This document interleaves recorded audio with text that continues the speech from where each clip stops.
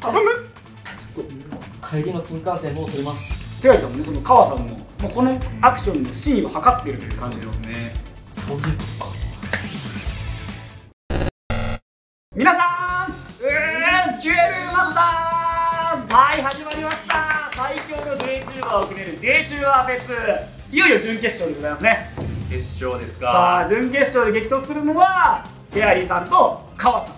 うん。ということで解説にはつばいらんさんとドクさんに来ていただいております、はい。ありがとうございます。お願いします。ということで、お互いね、フェリーさんは2回勝ち上がりまして、ハーフも1回勝ち上がって、いくらいですか一回。いやもうお腹いっぱいなん なかなかヒリヒリした対決を勝ち上がってきた2人ですが、意気込み聞いてみましょう。フェリーさんからお願いします。いや実は、はい。こ個人的なあれで今までトータル2-0してて川さんとの対決でなるほだからここでちょっと3-0にしてど。なるほど。このままちょっと終わらせようかなと思います さあ、対するパーさん、いかがですか？まあ、プライベートでうん2-0してますけど、まあ、本来2-0マックスやったらもう終わってんですよ。泣きの1回ってことで。なるほど、なるほど。昨日1回こそね、強い時ありますからね。下川勢ね、今回結構勝ち上がってますんで、そうなんですその勢いをね、空気読まないどう。なるかというところでございます。決勝下川対決は阻止したい。そこだけは。はい。それでは、じゃんけんいきましょう。お願いします。最初はグー、じゃんけん、ほい。先行で川さん先行でございます。それでは参りましょう。いきます。デュエマースタート。お願いします。さあデュエマスタート。ですね。はい行っていきましょうはい。ということでさあ川さんが最速4ターン目にうんうん。決められるので。さあ黒く1枚見れた。黒くチャージからスタート。オルバライドボルバレットチャージね。運命はいいですね。はい。川さんはまあいけられないかなはい。ここからまあ圧となりまああのあのノロンなり出していきたいと。いう感じでございますが。ちょっとなんでノータイムではないです。そうですこれデスマーチ埋めていいのかみたいな感じですかね。あーけどまだまださあ埋めて、埋めててもあエマージェンシーダイブです。リミちゃんのエマージェンシーダイブと相手にまあ1枚捨てるからね。ここで、うんバルカちゃんとある。これはでかい。は例の2枚はい、言いましょうバルカルネックスの墓地に置いたので、あとはデスマーチを出して落城の木を唱えれば、まあ、コンボ完成というところまで持ちましたけど。習いながらデスマーチ置かれてたんで、ちょっと手札気にうんなりますね。そうですね、2枚目でデスマーチない可能性は結構高いので。さあ、フィアリア、ジャスティンも入ってるんですね。結構に、今の真ん中二枚目かなうん、相当手厚く取ったんですね。さあ、これで、えっ、と、川さんの3ターン目ですかね。そうですねさあ、ここでまあコンボパーツ、まあ、このターン中にデスマーチ出さなくても、まあ、次に出せばいいので、ちょっとここはもう一個、おそのままターンエンド。でインボカード逃がしたうん、特に何もしなくてもいいラッキーナンバーだけやめられない祈ってますね。祈ることある？祈る。まあでもそうですね。なかったら2マナのドローを打ちたいので、どっちに祈ってるんだろう？これ自分に祈ってるのか？あこれはどうなんですかそう。フェアリーさんがなんか今できるビッグアクションないんで、まあ自分に祈ってる？ちょっと自分に祈ってるじゃないですか、ね、これは2ターン目のデスマーチは多色いっぱい引いて引いてるから仕方なく置いて、うん今も多色が出るのにああ確かにこれ全部でいいあでもコンボパス以外で1分数ありますね。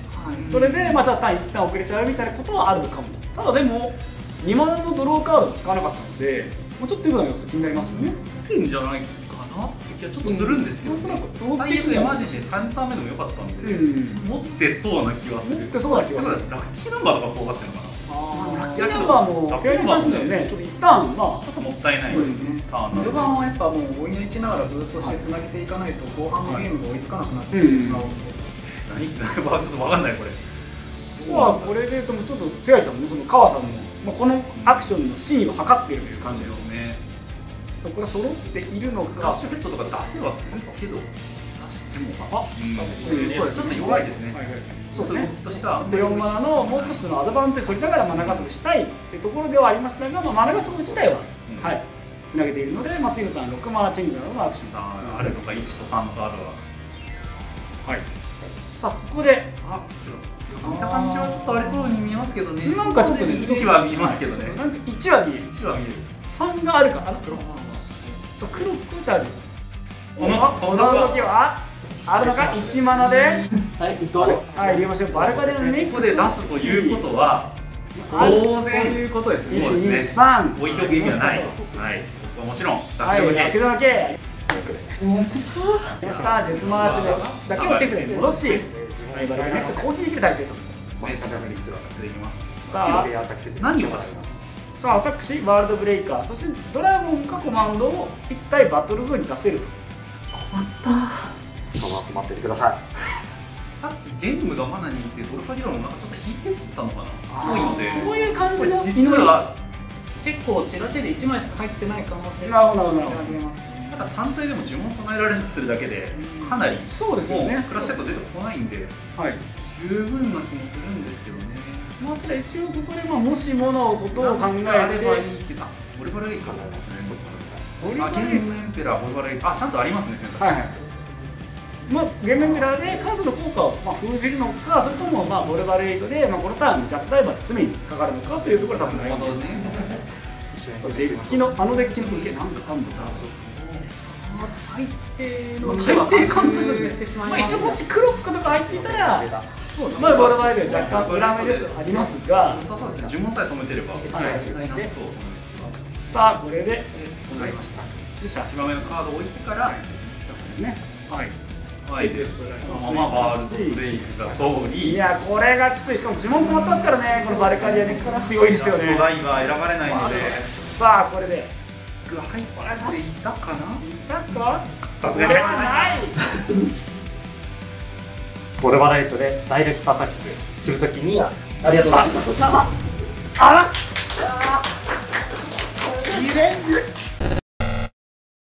ということでこちらの対決は川さんの勝利でございました。よし。川さんから感想を聞いていきましょうか。ボルバライト最高。中野富最高さあそして、えー負けてしまいましたフェアリーさんいかがでしたでしょうか？ボルバルエイト4枚入れてたんですけど1回も使えなかった。最高です。はい。ということで、えー決勝進出ですね。決勝進出川さんです。お疲れ様でした。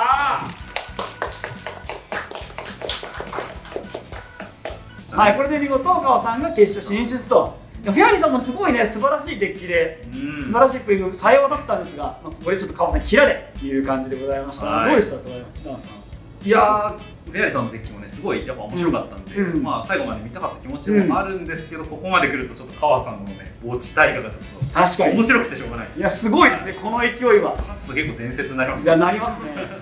ドッツさんどうでした？はいもう川さんの勢いが凄まじいので、うん。決勝戦楽しみですね。もう最速最速で決めてますもんね。もう、はい。濁ることなく。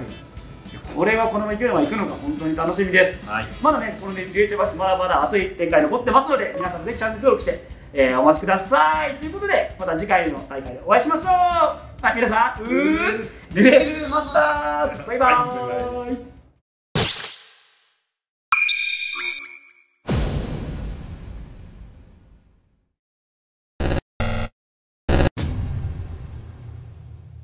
だってアドバンテージのチャンネルが下川のチャンネルかみたいないやもうちょっと決勝も川さんがなんと上がっちゃったらしいので。しっかりと思い切らせてレースいきたい。むしろこれ、水でビビらせただけって話もありますよね。ます見せるんじゃねえか。ちょっとこれ買ったら給与上がるからお願い。本当に？ほんまに。言ってたあーやだ。行くか。これ怖い